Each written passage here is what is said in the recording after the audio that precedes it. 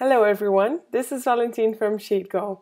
In this video I'm going to show you how you can share your data without having to share your entire spreadsheet.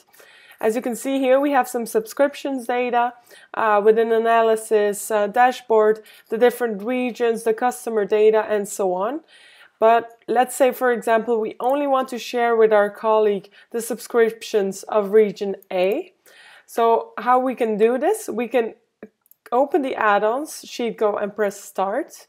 If you don't have it installed yet, you can get, a, get add-ons and install it for free.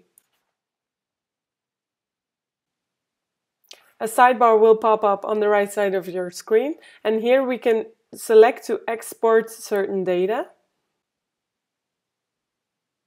So here in our data source, which you will export, we have to select the tab that we want to export. So this is region A.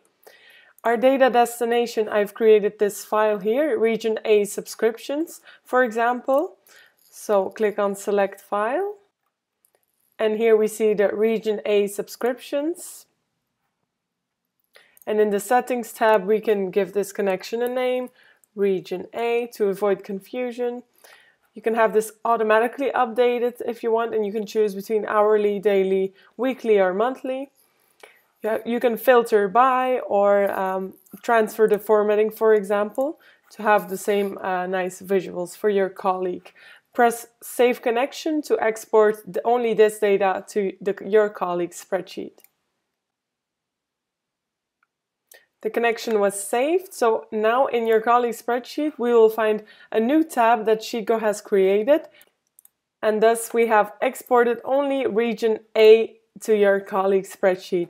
If you have any questions about this, please comment below and make sure to join our SheetGo community where you can find all answers to your questions or have certain requests. I will put the link in the description. Thank you very much.